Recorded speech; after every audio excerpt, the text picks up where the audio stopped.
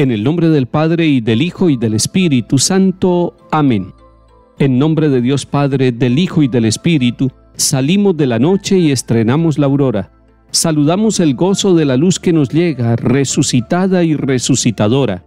Tu mano acerca el fuego a la tierra sombría, y el rostro de las cosas se alegre en tu presencia.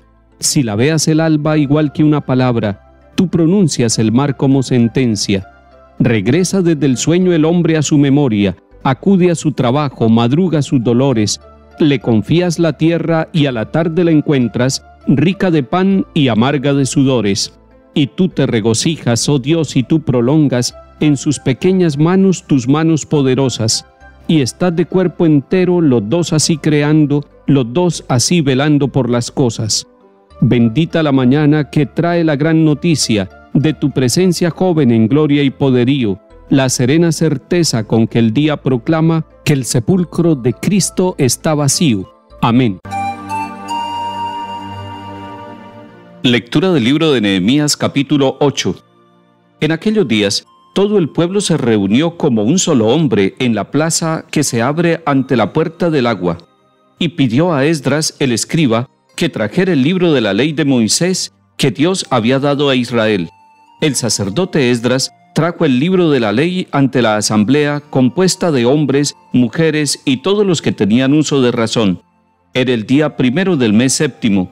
En la plaza de la puerta del agua, desde el amanecer hasta el mediodía, estuvo leyendo el libro a los hombres, a las mujeres y a los que tenían uso de razón. Toda la gente seguía con atención la lectura de la ley. Esdras, el escriba, estaba de pie en el púlpito de madera que había hecho para esta ocasión. Esdras abrió el libro a la vista de todo el pueblo, pues se hallaba en un puesto elevado, y cuando lo abrió, toda la gente se puso en pie. Esdras bendijo al Señor Dios grande, y todo el pueblo, levantando las manos, respondió, Amén, Amén. Después se inclinaron y adoraron al Señor rostro en tierra.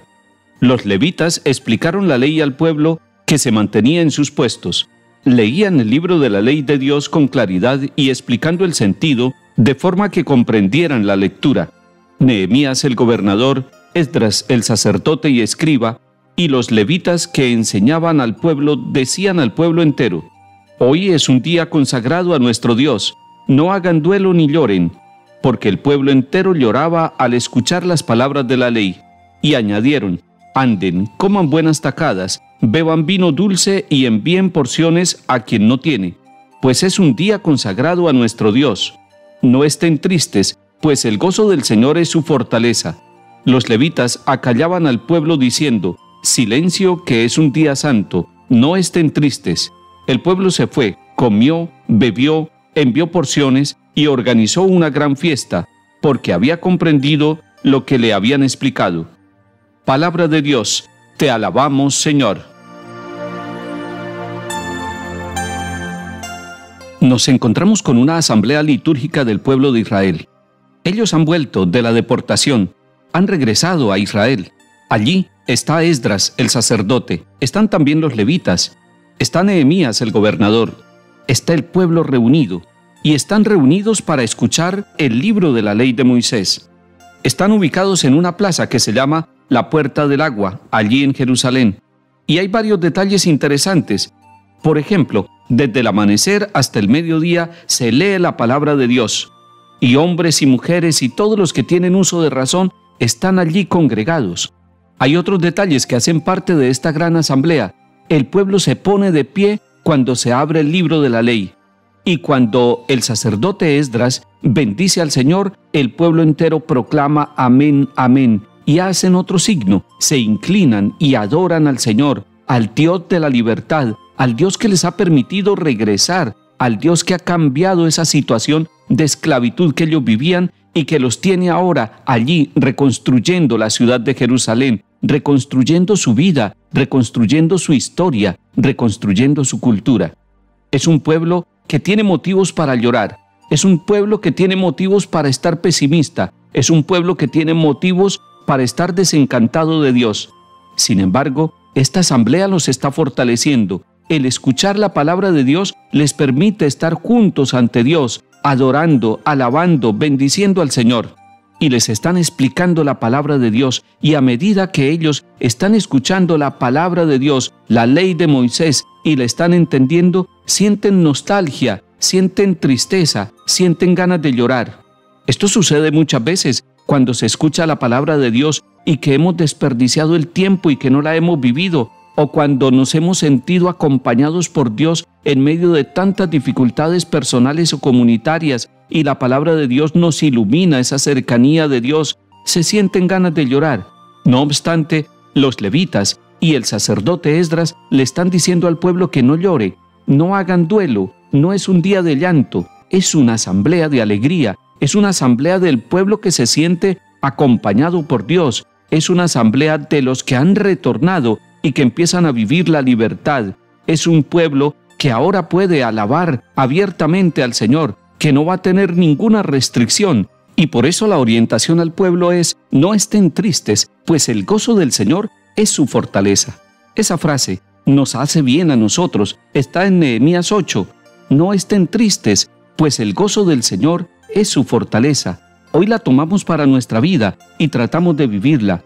Es que la alegría de saber que Dios está con nosotros es la que nos da fortaleza para reconstruirnos y para ayudar a reconstruir la vida de otras personas y de nuestras comunidades. Gracias Señor por tu palabra. Gracias por ser nosotros la asamblea, la iglesia que se alimenta de los sacramentos, especialmente de la Eucaristía, y que nos llena de alegría el corazón para poder luchar, para poder renovar, para poder restaurar la historia y la vida de nuestras familias y de nuestras comunidades.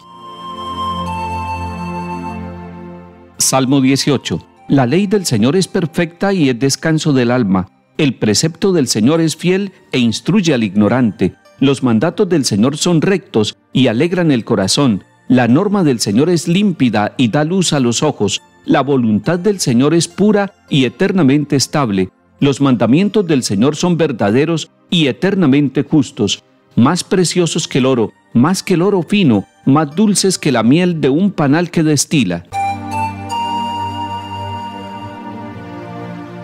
Lectura del Santo Evangelio según San Lucas capítulo 10.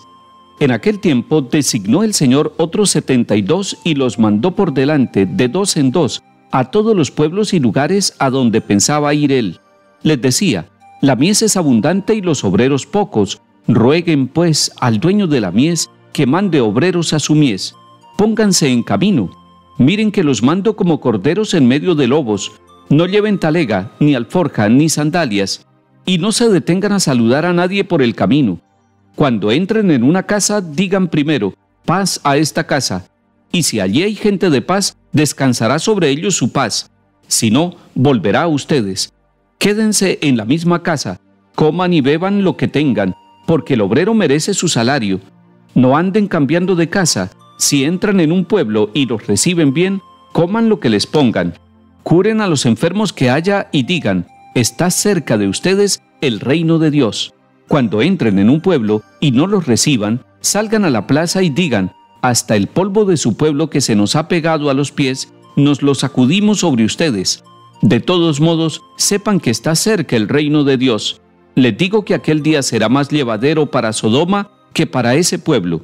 Palabra del Señor. Gloria a ti, Señor Jesús.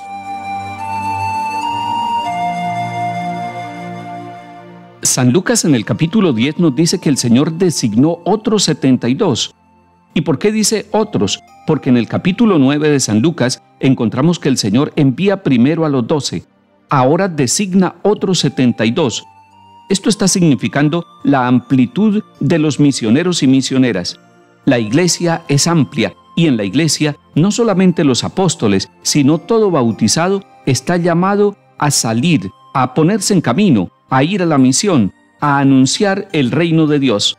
Y le está pidiendo a estos 72 que vayan por delante de él y que vayan de dos en dos. Esos son dos signos que debemos tener en cuenta todos los misioneros de nuestras parroquias, los laicos, hombres y mujeres, que en distintos movimientos apostólicos, que en distintos comités y grupos parroquiales están sirviendo. Primero, vamos es anunciando a Cristo Jesús. Vamos por delante de Él, pero cuando nosotros llegamos, Él ya llegó primero a las casas, Él ya llegó primero a las personas. Y eso lo constatamos cada vez que hacemos misión. y nos dice, vayan de dos en dos. En otras palabras, vayan con un signo comunitario, no vayan en la soledad, vayan como iglesia, vayan de dos en dos, pónganse en camino. Y además nos invita a que pidamos al dueño de la mies que mande obreros a su mies. El Señor Jesús le está diciendo a los misioneros de todo tiempo y a nosotros misioneros de todas las parroquias que vamos a ir y que estaremos como corderos en medio de lobos.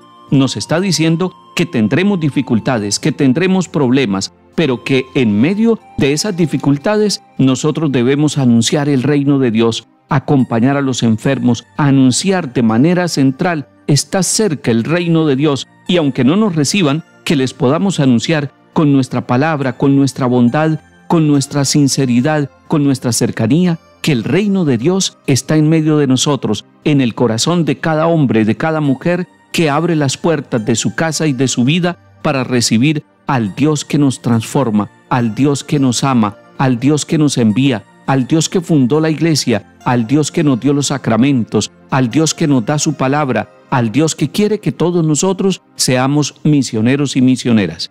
Que el Señor nos acompañe y nos bendiga en esta labor misionera, en el nombre del Padre, y del Hijo y del Espíritu Santo. Amén.